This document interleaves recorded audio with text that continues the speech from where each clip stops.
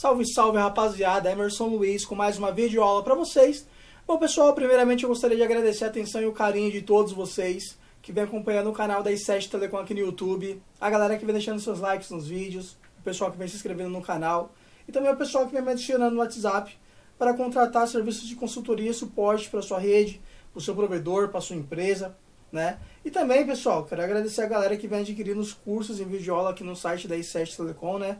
Conteúdo privado, conteúdo particular para quem tem interesse em aprender uma determinada configuração que está lá no site, né? Eu tenho alguns cursos lá. Esses cursos são todos cursos em videoaulas gravado, o conteúdo já está gravado, tá? Para você poder ter acesso a esse conteúdo, você precisa adquirir o curso, comprar, fazer o pagamento, me enviar o comprovante ou me adicionar no WhatsApp, né? Pode fazer o pagamento via Pix, via PicPay, caso queira fazer via cartão de crédito. Consegue fazer parcelamento também via PicPay, né? Aí é com o PicPay, não é comigo, tá? Comigo o valor é à vista, né? Daí você consegue parcelar, parcelar pelo PicPay lá, beleza? Uh, então, e aí, na sequência, fazendo esse procedimento, o conteúdo, o, após a confirmação do seu pagamento, o conteúdo é liberado para o seu e-mail, né? Você vai receber um e-mail com o link, né, do curso que você adquiriu, né? Então, tem os cursos aí individuais, né? E quem tiver interesse, né, realmente tem interesse em aprender, né? Estudar, aprender a configurar algumas daquelas determinadas situações que tem no site, né? Uh, tem um pacote passe livre, que é o pacote completo com todos os cursos, né? Mas, meu, eu costumo, eu costumo falar, só pega se você realmente sentar e ver as videoaulas, entendeu? Porque se você não tem tempo para fazer isso, é mais fácil você pagar o serviço para alguém configurar o que você precisa, né? Algumas pessoas me mandam um e-mail falando assim, perguntando, né? Uh, caso eu compre o curso, né, tenho dúvidas, você consegue tirar as dúvidas? Tirar as dúvidas, pessoal, é uma coisa, tá? Consigo sim, referente àquele conteúdo. Agora, acessar o seu, o seu ambiente e configurar para você não tem nada a ver com o curso, tá? Uma coisa é você comprar o curso, você ver as videoaulas, você praticar, você assistir as videoaulas tipo lá, duas, três, quatro, cem vezes até você aprender, tá? A outra é você me mandar uma mensagem no WhatsApp, e falar, pô, não consegui, pode configurar para mim? Isso é uma coisa totalmente diferente do, da proposta do curso. O curso é para quem quer aprender, para quem quer ter paciência de sentar, assistir as videoaulas, colocar uma routerboard de bancada ali, começar do zero, né, a configurar, a praticar, ah, configura errado, vai lá, reseta, configura de novo. Configura errado, vai, reseta, configura de novo. Faz isso até você aprender a configurar. É assim que você vai aprender, entendeu? Não é, ô, oh, me ajuda aqui, ô, oh, me tira uma Tirar dúvida sim, é uma coisa. Agora me ajuda a fazer aqui, esquece, isso daí está totalmente, não é a proposta do conteúdo do curso, beleza? Precisa de ajuda em configuração, você pode contratar o serviço de configuração, que é um outro assunto, né? E para deixar bem clara essa situação de consultoria, configuração online, pessoal, olha só, uh, quando você procura alguém que faça o serviço, você tem que se adaptar às condições da pessoa que presta o serviço, não o prestador de serviço a você, entendeu? Porque acontece alguns casos da pessoa fica na dúvida, sei que fica na dúvida, você fala, pô, será que eu vou, eu vou pagar para o cara fazer o serviço, será que se eu pagar o cara vai me atender mesmo ou vai fugir? Não tem como fugir, né, pessoal? Bom, tá aí. E outra, né, para deixar mais claro ainda, não vai se queimar por porco, tipo assim, no, no meu caso, eu não vou me queimar por pouca coisa, entendeu? Tipo, ah, vou fazer um serviço pro cara, ah, cobrei X, aí o cara fala, ah, beleza, o, o cara não fez o serviço. Não, meu, esquece essa ideia, pessoal. Se a pessoa já entra com a dúvida na cabeça, é melhor nem fazer. É igual eu falo para algumas pessoas. Se você está com a dúvida, é, tem esse lance de confiança. Claro que você não me conhece, eu não te conheço. Então é dos dois lados, dá para entender, né? Mas se você que está procurando um serviço, está com a dúvida da pessoa que você está falando, nem procura a pessoa. Fica claro isso, que é o objetivo, né? Tentar deixar o mais claro possível. Está com a dúvida na cabeça? não faça. Tá com a dúvida referente a fazer uh, o serviço com a pessoa, a pessoa não te passou confiança, não faça o serviço, não faça o pagamento. E Zé Fini, arruma alguém próximo de você, ou até alguém na sua região, na sua cidade aí, que vai até você e execute esse serviço na sua frente. Claro que o objetivo disso daí é, muda um pouco a, a, a parte de prestação de serviço, né? valor muda porque o cara vai fazer uma visita para você, né? O cara vai tem que se deslocar até a sua empresa, O cara vai ter tempo para poder fazer, ele precisa de tempo para poder fazer isso, combustível, um monte de coisa, né? Então o custo da consultoria de um, de um, de um analista nessa, nesse nível de network, de rede que configura microtik, né? O cara realmente vai te cobrar um valor por tudo isso. Está chegando na sua empresa, né? E executando o que você precisa. Muitas das vezes, pessoal, eu vejo pessoas que precisam de configuração, né? Uh, e é da área de TI, né? Isso não é para as pessoas que não são da área. A pessoa é da área de TI, a pessoa foi contratada para poder prestar, para poder trabalhar na empresa com aquele negócio, com, aquele, com aquela parte de, de configuração de rede em si e tal, e a pessoa não tem o conhecimento para poder fazer isso, aí a pessoa fica no desespero, pesquisando na internet, no Google, buscando alguém que possa fazer isso, né? É, de uma ou tentando é, obter informações de pessoas que estão tá na área trabalhando com isso, já trabalha com isso, né? Uh, tentando sugar informações, né? Para poder tentar fazer aquilo ali. Pessoal, não tem jeito. Ou você que é da área vai estudar, vai fazer curso, vai, vai, vai fazer o quê? Vai é, investir né, o seu dinheiro em você, né? Para você aprender e não precisar de ninguém, né? Uh, e você se vira. Se você não tem essa possibilidade, realmente você precisa pagar alguém que estudou, que estuda, que sabe configurar determinada situação que você esteja precisando. Tá? Então é assim, a lei da demanda e a procura. Se você precisa, a pessoa tem, você, pô, realmente eu preciso, você tem que pagar para a pessoa te configurar o que você precisa. Agora, se você precisa e não tem condições, é uma situação diferente. Se você precisa, né, mas você é um cara didático, você consegue se desenrolar, vai na internet, site Microtik, vai buscar informação, por mais que demore um, dois, três dias, uma semana, e você consegue desenrolar, aí beleza, você não gastou nada, gastou o seu tempo, na verdade, para poder desenvolver todo esse trabalho de pesquisa, né? Então, quando a gente está na faculdade, a gente aprende a pesquisar muito. Na verdade, a faculdade uh, pode ser, acho que, em vários setores, na verdade. Você aprende a pesquisar, né?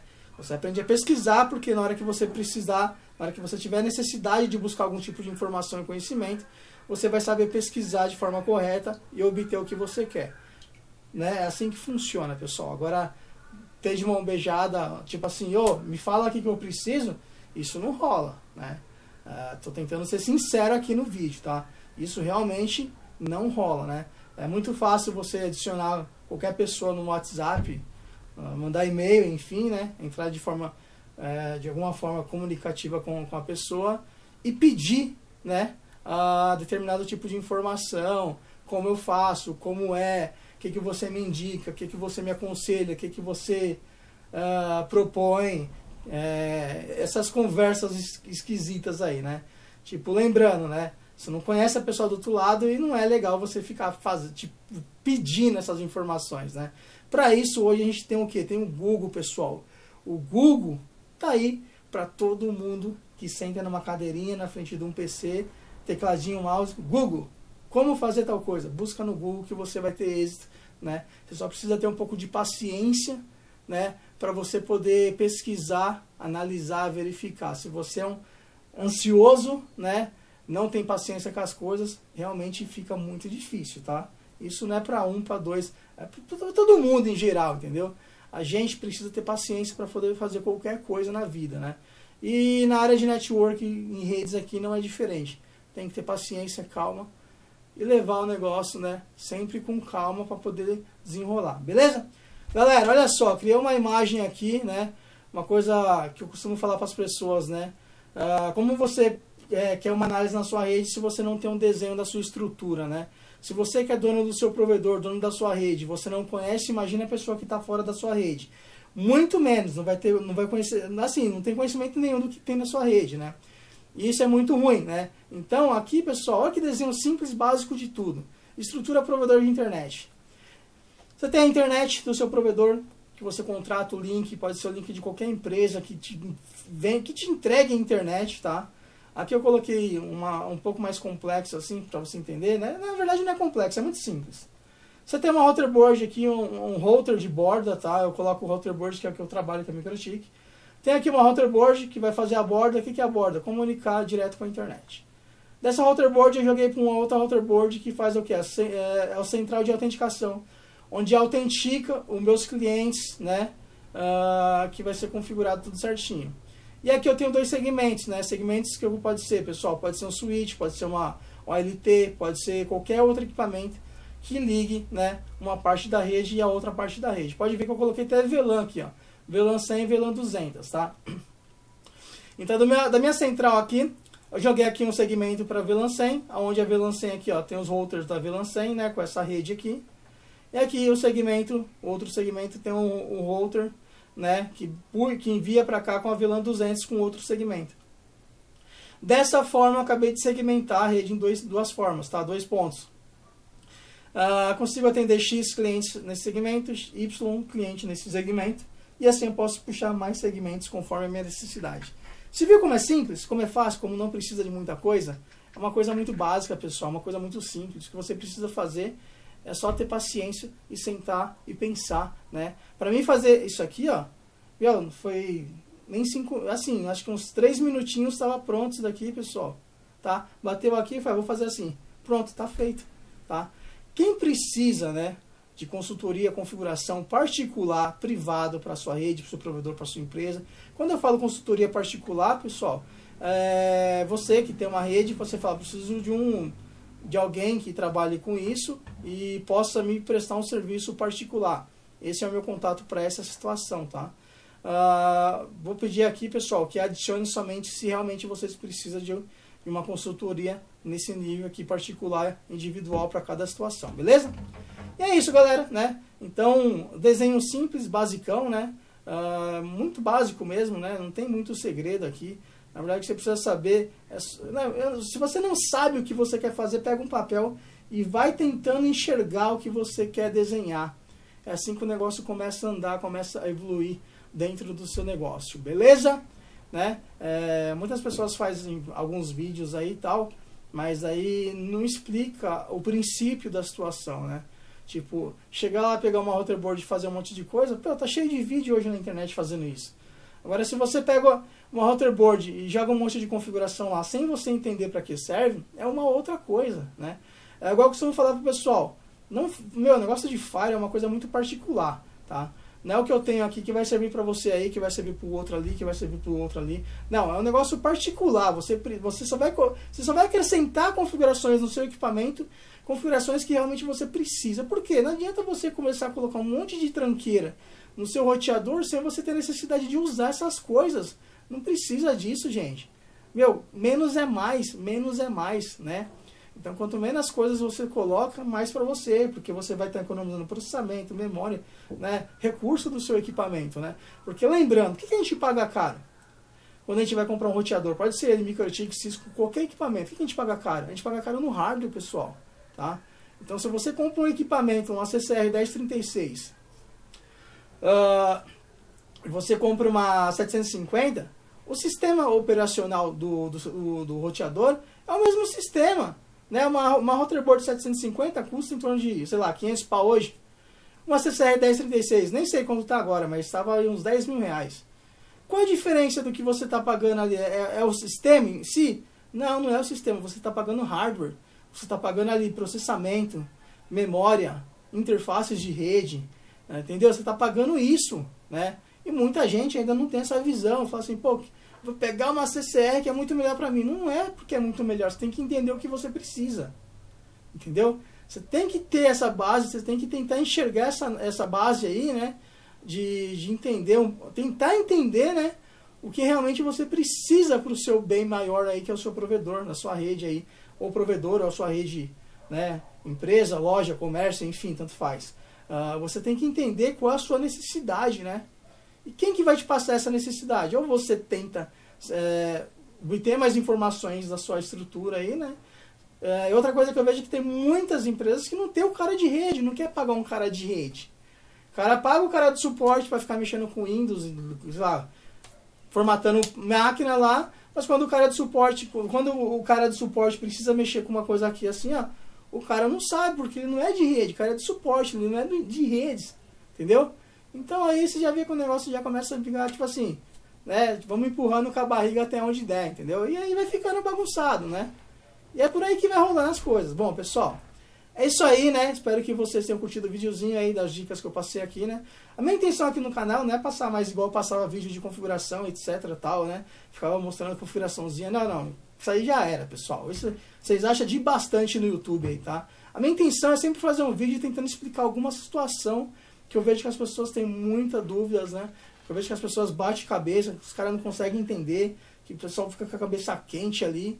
E a minha intenção é sempre fazer um desenho, tentar uh, justificar a melhor parte, a melhor parte desse, desse desenho, dessa estrutura, né? Igual, por exemplo, quando a gente vai tirar o ASN junto ao registro BR, vai chegar uma hora que a gente precisa desenhar uma topologia bem explicada com a parte de endereçamento IP correta para entregar para o pessoal do registro BR. Se você não consegue fazer isso, vai ser barrado, as informações que você enviou vai ficar travada até você criar essa parte de forma organizada, correta, onde a pessoa consegue entender o linguajar da estrutura da rede e assim passar para o próximo passo, né? Que, que aí dá sequência lá até liberar o seu registro, o seu ASN, junto ao seu bloco de interesse IPv6 hoje, tá? Outra coisa também é, tem pessoas ainda com a ideia de tentar tirar IPv4. Esquece IPv4, IPv, IPv4 está esgotado, não tem jeito, né? Entrar na fila é uma opção que você tem quando você vai tirar o seu ASN com IPv6. Se você quer tirar o seu ASN para buscar IPv4, você esquece que não tem jeito, tá? E essa fila que você vai entrar, pode ter certeza. É uma fila que a gente não sabe realmente uh, quando vai ter uma desistência. Pode ter certeza, meu. Quem tem o IPv4 não vai desistir, não vai cancelar o seu recurso lá para voltar pro só se o cara, pô, acontecer uma coisa aí, né? Muito pior, né? Mas assim, uh, fora isso, pessoal, tem muita gente no Brasil, né? Como a gente sabe, né? O, quem cuida dessa parte no Brasil é o Registro BR. Então não tem jeito não, pessoal. Se você quer tirar o seu ASN, você vai ter que buscar para tirar o seu ASN com IPv6, tá? Custo aumentou, tanto na parte de consultoria para essa parte aí de, de, de consultoria para tirar o ASN. E também o custo do registro BR dobrou, tá? Antigamente era um valor, né?